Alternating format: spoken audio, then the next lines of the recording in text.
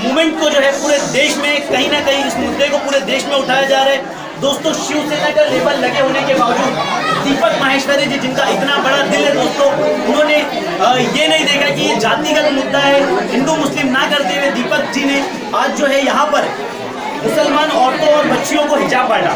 हमारे साथ जो है माहिम दरगाह के मेंबर मौजूद है। सर, आप क्या कहेंगे कि इतना बड़ा प्रोग्राम हुआ और आपने काफ़ी अच्छी और बहुत प्यारी स्पीच दी? सर, क्या कहेंगे कि ये जो मुस्कान के साथ सर, कहीं ना कहीं हमारा कॉन्स्टिट्यूशन जो है हमारे पहनावे पर रोक नहीं लगा सकता। जो है प्रियंका गांधी का एक स्टेटमेंट है कि वो बिकनी पहने, वो घूंघट पहने, वो जीन्स पहने या फिर वो बुर्का पहने, हिजाब पहने तो उसकी चॉइस है। औरतों को हर धर्म में जो है सर, कहीं ना कहीं अपने पहनावे के ऊपर पूरा अधिकार दिया गया। तो सर, आप क्या कहेंगे कि जिस तरीके से कर्नाटका के एक स्कूल के अंदर और कर्नाटका में बहुत सारे स्कूल्स और बहुत सारे जो है बजरंग दल और आरएसएस के कार्यकर्ता है, जो इस तरीके की डिमांड कर रहे हैं कि हिजाब जो है उसको उतार दिया जाए और हिजाब स्कूल में नॉट अलाउड तो इसके ऊपर क्या कहेंगे? आप ये देखिए कि पाँच देश के अंदर इलेक्शन हो। और बीजेपी के हाथ से वहाँ पे ज़मीन जो है छूटते चले गए चाहे वो यूपी हो मणिपुर हो पंजाब हो, और जितने भी राज्यों के अंदर इलेक्शन हो रहे हैं। तो इसको एक तरीके से पोलराइज किया जा रहा है। हिजाब आज से नहीं पहना जा रहा है। हिजाब तो जब से हम पैदा हुए हैं तो हमारे शरीयत के अंदर, हमारा इख्तियार है कि हमको हिजाब पहनना है और कोई मेरे पहरावे में कैसे आके रोक टोक सकता है? डॉक्टर बाबा राव भीमराव अंबेडकर जी का लिखा हुआ संविधान है, मैं जो चाहूँगा वो मैं कर सकता हूँ, मुझे राइट दी गई है ये मेरा इंडियन कॉन्स्टिट्यूशनल राइट है। राइट टू स्पीक और राइट टू वेयर है मेरे पास। क्यों? आज अगर मैं हिजाब पहनता हूँ तो उसके ऊपर आपको दिक्कत है, और भी दिक्कत मेरे मज़हब के मजहबी दोस्त लोग उन लोग का भी तो पहरावा अलग अलग है। उनको भी क्यों जाकर रोका जाता है। वो बच्ची आज से हिजाब पहनकर कॉलेज में जा रही थी क्या? और ये भी तो देखो कि वहाँ पे सरकार किसकी है? बीजेपी की। बीजेपी का एक एजुकेशन मिनिस्टर ये सब चीज़ों को करवाते हैं, उसे शर्म नहीं आती है? एक अकेली बच्ची के ऊपर इतने सारे लोग टूट पड़ रहे हैं? अगर यही कोई अगर मुसलमान लड़के ने किया होता वहाँ पे कोई हिंदू लड़की होती तो आप उस पर यूपीए नहीं लगाते, उसको उठा के जेल में नहीं डालते? उनके पास में भगवा कहाँ से आए? अगर चलो मैं ये मानता हूँ, वो बुरका पहन कर गई वो भी तो भगवा पहने हुए थे ना, गले के अंदर गमछा पहने हुए थे। वो लोग भी तो वहाँ से अलग अलग नारे लगा रहे थे। तो बच्ची ने क्या किया? बच्ची ने अपने अल्लाह को याद किया अकेली थी वहाँ पर अल्लाह की उसको कहीं भी मदद है, वो तो एकदम फुर्ती के साथ में वहाँ से तब्दील करते हुए निकल गए गलत नहीं किया उसने। उसने कोई भी किसी के साथ कोई लड़ाई नहीं उस पर अटैक हुआ। उसने अपने आप को सेव करने के लिए वहाँ पे तब्दील अल्लाह पर किया। क्या उसके अंदर और मैं तो कहता हूँ कि हर एक जन को, खाली मुसलमानों को की हर एक मज़हब को अपना पहनावा पहनने की पूरी छूट देनी चाहिए। सेंटर में बैठी हुई गवर्नमेंट को थोड़ा सा पॉजिटिव माइंड डेमोक्रेटिक होना पड़ेगा, लोगों की बातों को सुनना पड़ेगा डिक्टेटरशिप नहीं कर सकते। हम एक इंडिया के अंदर रहते इंडिया के अंदर डेमोक्रेसी है। हर जाति के, हर प्रांत के लोग यहाँ पर रहते हैं। हर एक को क्या खाना है, क्या पीना है, क्या आप डिसाइड करेंगे? आप मेरे घर में आएँगे कि मैं क्या पका रहा हूँ? मुझे ये नहीं खाना है मुझे ये नहीं पहनना है मुझे यहाँ नहीं जाना है मुझे ये नहीं पहनना कौन होते हो आप मुझे रोकने? आप जो चाहे वो कर सकते हो आपको छूट है। समझे? हम नहीं कर सकते क्यों नहीं कर सकते भाई? ये यूपी के चुनाव को मद्देनजर रखते हुए इस चीज़ को पोलराइज किया गया हुआ है और इनके जितने भी बिठाए हुए टीवी चैनल डिबेट चैनल के ऊपर लोग हैं, बस आके बकान बकान बकान कर रहे लॉजिक किसी को भी इसके पीछे भी पता नहीं अगर मैं हिजाब पहन रहा हूँ तो मैं क्या गलत करूँ? और भी तो धर्म के लोग, मैं किसी के धर्म को ब्लेम नहीं कर रहा मैं, वो भी मेरे भाई है, वो भी मेरे दोस्त है। आज हमने बचपन से जवानी इसी मुल्क के अंदर पाई है, वो भी मेरे ये पहले नहीं होता था। सत्तर साल की हुकूमत रही इस देश के अंदर। ये पहले नहीं होता था। ये सात साल में क्यों होने लगा क्योंकि ये जो है प्रचार वाली सरकार है, ये काम वाली सरकार नहीं है, प्रचार वाली है। आपको एक छोटा सा इंसिडेंट और बता दूँ कि लोग इतना पब्लिसाइज करते हैं टीकाकरण हुआ इस देश के अंदर। ज़ोर ज़ोर से हमारे देश के प्रधानमंत्री टीका छिला इतने करोड़ टीके दे दिए इतने आपने अपने घर के पैसे से दिया क्या? इससे पहले भी तो सत्तर साल पहले भी जो टीके लगे तुम्हारे इधर इधर पे चार आने का सिक्का जो बना हुआ है कंधे पे। क्या वो सरकार ने लाई थी क्या? फ़ोटो लगाई थी? आज आप टीका लेके निकलो, आपके हाथ में सर्टिफिकेट पढ़ाते हैं नमस्ते करते हो फ़ोटो उसके ऊपर क्या आपने अपने खीसे से पैसा लगाया क्या? जो जो टैक्स पे करते हैं, हमारे जैसे लोग इस देश की उन्नति के लिए, उनके पैसे से ये सब चीज़ें हुई। तो इसका अननेसेसरी श्रेय सरकार को लेना नहीं चाहिए, और ये कंट्रोवर्सी को जल्द से जल्द खत्म करना। सर मेरा एक सवाल जो है वो पर्सनल चीता कैंप को लेकर होगा। कि चीता कैंप जो है, अस्सी फ़ीसद से ज़्यादा यहाँ पर मुसलमान रहते हैं और दीपक महेश्वरी जी जो बहसीत हिंदू होते हुए उन्होंने एक सेकुलरिज्म की बहुत अच्छी मिसाल पेश की और चीता कैंप में सर ये मैं आपको बता दूँ, मेरे न्यूज़ चैनल के माध्यम से कि दीपक महेश्वरी वाहिद पहला शख्स है जिसने हिजाब के ऊपर कोई प्रोटेस्ट किया, जबकि वो चुनाव जो है शिवसेना से लड़ने वाले। तो आप क्या बताएँगे, इतना जो प्यारा उन्होंने कार्य किया है, उसके ऊपर आप क्या कहेंगे? देखिए, सबसे पहली बात तो भी हमारी माइंडसेट को चेंज करना पड़ेगा। ये हिंदू, मुस्लिम वाले फॉर्मेट को खत्म करना मैं आपको कह रहा हूँ, हिंदू, मुस्लिम सात साल से शुरू हुआ सत्तर साल हो गए देश की आज़ादी का पचहत्तरवा साल हम लोग मनाने जाएँगे अगस्त की पंद्रह अगस्त को। ये पहले क्यों नहीं होता था? अभी क्यों हो रहा है? तो इसको मैं ये कह रहा हूँ कि हिंदू, मुस्लिम की राजनीति को पहली बार खत्म किया और जहाँ तक एक बात दीपक भाई महेश्वरी की मैंने तो आज से नहीं, मेरे तो बहुत पुराने घनिष्ठ मित्र हैं।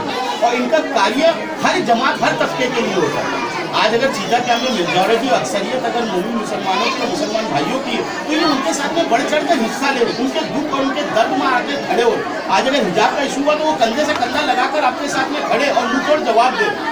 और देखिए, कैसा मालूम है, हर वक्त के हिसाब से हर एक सियासत के अंदर भी चेंज ओवर आता है। आज एक पॉजिटिविटी महाराष्ट्र सरकार के अंदर महाविकास आघाड़ी के थ्रू आ रही एक अच्छा भविष्य हमारी नौजवान पीढ़ियों का दिख रहा है। जैसे एक विजन होता है ना, कोई स्टेट को चलाने का विजन आज आप के साथ ठाकरे का अंदर का विजन चल रहा है। आज आप देखिए, मुंबई का नक्शा पूरा का पूरा चेंज होता चला जा रहा है। अच्छे अच्छे गार्डन आ रहे हैं, अच्छे अच्छे पार्क आ रहे हैं पाथवे बनाए जा रहा है सी रूम बनाया जा रहा है। अभी कल या परसों के अंदर चैत्र भूमि के ऊपर एक व्यूइंग पॉइंट खोला गया जो इंटरनेशनल स्टैंडर्ड का बनाया गया आज तक क्या आपने महाराष्ट्र में देखा था? ये लोगों ने भी तो इसके पहले हुकूमत करी। क्या हो रहा था हिंदू, मुस्लिम बी बैन ये, वो पन्ना ये चल रहा है। आप आप एक विजन लेकर और जहाँ पे मैं चीता कैंप की मैं फ़र्स्ट टाइम इतने बड़े इलाके, इतने बड़े हल्के में आ रहा हूँ। बहुत ही प्यारे, बहुत ही अच्छे लोग हैं। जिन लोगों ने एक बाहर के मज़हब के लोग जैसे अभी आपने जो मुद्दे को उठा मैं नहीं उठा रहा हूँ भाई, मैं नहीं मानता ये तो मेरे गरीब मित्र हैं, मेरे दोस्त हैं। नहीं सर मेरे जो कहने का मतलब था कि मैं उस चीज़ को इस तरीके से प्रेजेंट कर रहा हूँ कि दीपक सर एक हिंदू होते हुए, जो उनकी जाति है जिस धर्म से वो आते हैं, वो हिंदू है। लेकिन उसके बावजूद उन्होंने जो है इतना बड़ा जो मुद्दा जो चल रहा है ये सिर्फ़ मुसलमान और हिंदू का मुद्दा नहीं लेकिन उन्होंने अपना दिल बड़ा किया और जो है इस मुद्दे के ऊपर जीता कैंप में ये शख्स जो पहले शख्स है उन्होंने जो ये प्रोटेस्ट किया। तो मैं ये बोल रहा था। हिंदी है ये मैसेज उन्होंने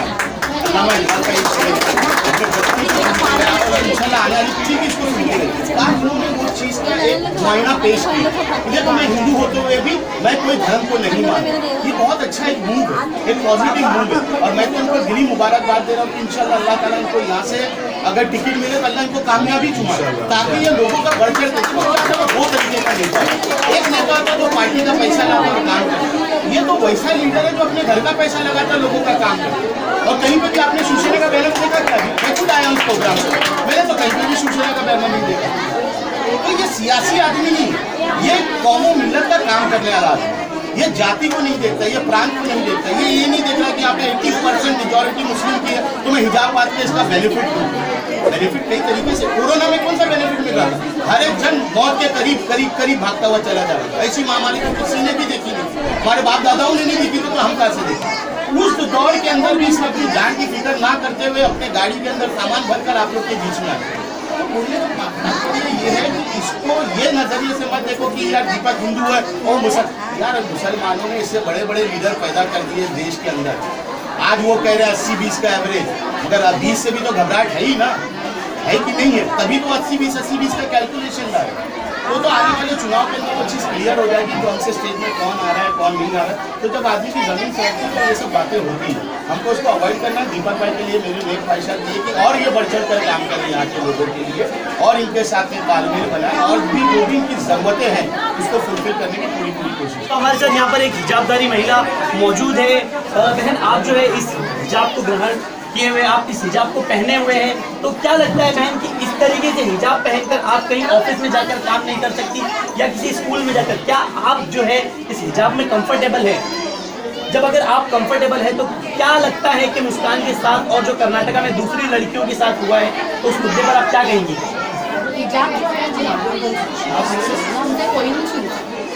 फॉर एग्ज़ाम्पल बोर्ड एग्ज़ाम में जब बोलते तो उतारते हैं। क्यों ऐसा होता है हमारे साथ? एग्जामिनर एक लेडीज़ अरेंज करता है, उसके लिए वॉशरूम में जाकर चेक कर कि वही कैंडिडेट बैठे हैं उसके नीचे जाना ठीक है? उतारने होते हैं हमसे कोई किया है, उसने सही किया। और हज़ार महिला उसके साथ देंगे इंशाल्लाह। ठीक है? और मैं भी साथ। अगर ये हमारे साथ भी होगा तो हम भी उसी रिएक्ट करेंगे ठीक है? ये जो सरकार जो चला रही है एक्चुअली ये हिजाब को रोक रही। वो हमारा माइंड जो है ब्रेन वॉश करके जो इलेक्शन आ रहे हैं उस पर हिजाब हमसे कोई नहीं सकता तो बहुत पहले से चलता है। ये हमारा हक है। अभी जो है दीपक सर, ये जो प्रोग्राम आपने आज किया था, इतना बड़ा प्रोग्राम किया और मैंने ने देखा सर कि काफ़ी क्राउड यहाँ पर मौजूद था। सर, कहीं ना कहीं जो है, जनता जो ये चाह रही है कि दीपक माहेश्वरी जी उनके बीच में आए। कभी टूर्नामेंट के ज़रिए कभी जो है वैक्सीनेशन कैंप के ज़रिए कभी जो है आपने एंबुलेंस या फिर आधार के जो सेंटर्स चलाए उसके ज़रिए जनता में जो एक रुझान बनता जा रहा है कि अब की बात दीपक माहेश्वरी। तो सर, क्या कहेंगे कि एक चीता कैंप में जो है आप एक पावरफुल लीडर बनते जा रहे हैं, क्या कहेंगे?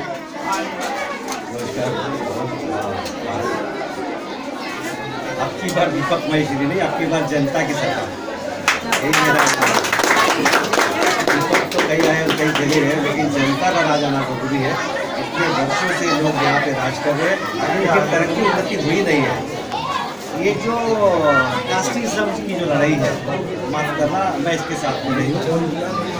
हिंदुस्तानी हिंदुस्तानी जो भी होते हैं, हिंदुस्तान में हर प्रांत के लोग हैं, हर मज़हब के लोग हैं, सबका सम्मान है, सबका रिस्पेक्ट है। मैं सबका आदर करता हूँ। ऐसा नहीं कि मुसलमान है, कोई क्रिश्चियन है, कोई मराठी है, कोई गुजराती है। सबका अपना पहनावा है सबका अपना साइज़ दीपक सर आपको बीच में रोकना चाहूँगा। दीपक सर कहीं ना कहीं जो इतना बड़ा प्रोग्राम किया आपने आप शिवसेना से आए हो। और ये जो अभी इलेक्शन है जो यूपी का इलेक्शन है सर और उसमें जो योगी आदित्यनाथ साहब ने एक बयान दिया था कि ये जो लड़ाई है वो 80 बनाम 20 की है। तो सर आप जैसे लोग भी अभी यहाँ पर है और शिवसेना जो है सर अभी काफ़ी काम कर रही है। उद्धव साहब ठाकरे को जो है अभी इनाम भी मिला और जो है कि टॉप फाइव जो है सीएम में उनका नाम आ आया तो कहीं ना कहीं सर, शिवसेना से आप जब खड़े हो इलेक्शन में तो क्या तैयारी है? चीता कैंप को लेकर क्या तब्दीली करेंगे सर? चीता कैंप में काफ़ी सारे कॉर्पोरेटर्स आए और चले गए, लेकिन गली, नाली और लाइट के मुद्दों पर ही काम हुआ सर। आप क्या नई चीज़ लेकर आएँगे इस इलेक्शन में? मैंने देखा आज भी उन्नीस सौ का मसला चल रहा है। पानी, गटर और समस्या है। लोगों में इसमें जो उलझन पैदा हुई है कि लोगों को इससे आगे बढ़ने का मौका ही नहीं मिल। रहा मेरी सोच है इस समाज को और आगे बढ़ाना है इस एरिया को बढ़ाना है इस एरिया को डेवलप करना है। यहाँ के लोगों को एक नई राह दिखानी है। क्योंकि जब तक राह नहीं दिखेगी तो लोग आगे बढ़ नहीं सकते। ये जो गटर और पानी का मसला है, इसको हम हल करेंगे पक्का। आज सेना की सरकार है सेना आपके साथ में है। और उद्धव साहब का तो एक आपने देखा है कि किसी धर्म को मानते नहीं है। उनके लिए हर धर्म उनका सकता है। उनके लोग हैं वो। और मैंने नहीं देखा कि उद्धव साहब ने किसी की बात में भेदभाव किए ज़िंदगी में। और वैसे ही हम भी किसी का भेदभाव करते नहीं हैं। समाज हमारा है, लोग हमारे प्यार हमारा है। सकते दीपक सर मुस्कान को जो है मौलाना अरशद मदनी साहब ने पाँच लाख रुपए का नगद इनाम दिया। उसके बाद जो है जीशान बाबा सिद्दीकी, वो भी उनके पास जाकर मिलकर आए। शिवसेना के बड़े जो लीडर्स हैं उन्होंने भी काफ़ी पॉजिटिव मैसेज किया ट्वीट किया। तो सर क्या कहेंगे आप? उस बच्ची को क्या मैसेज देंगे? मुस्कान सही है। उसका एक कॉन्स्टिट्यूशन राइट है, जो वो पहनती है। उसको उसको कोई रोक नहीं सकता। उसको रोकना संविधान के खिलाफ होना है। किसी को बोलने से रोक नहीं सकते, किसी को पहनावे से रोके मराठी अपनी तरह साड़ी पहनते हैं, गुजराती अपनी तरफ़ से कपड़े पहनते हैं, मारवाड़ी अपनी तरफ़ से पहनते हैं, मुसलमान अपनी तरफ़ हैं तो धर्म है अपना अपना अपना अपना तरीका है फ़ैशन मैं इसको फ़ैशन है। फ़ैशन को कोई रोक नहीं सकता है। फ़ैशन अपना संविधान में आता नहीं है। और आपको इसका इसका एक छूट है कि आप कैसे भी अपने कपड़े पहनिए तो जो ये हुआ है, ये निंदनीय है। मैं मुस्कान के साथ में हूँ और मुस्कान के साथ में हमेशा लेकिन ये जान के बहुत अच्छा लगा कि चीता कैंप के अंदर एक ऐसा नेता है जिसने पहली दफ़ा किसी ऐसे मुद्दे पर जाति की राजनीति नहीं करते हुए लोगों के सामने आया और उस बच्ची के लिए जो है स्टैंड किया। दोस्तों, इसी तरीके के जो नेता बहुत सारे होते हैं, लेकिन इस तरीके के नेता कभी चीता कैंप में नहीं आए। इसी तरीके की तेज तरह न्यूज़ के लिए बने रहिए I B news twenty four by seven cameraman Ryan के साथ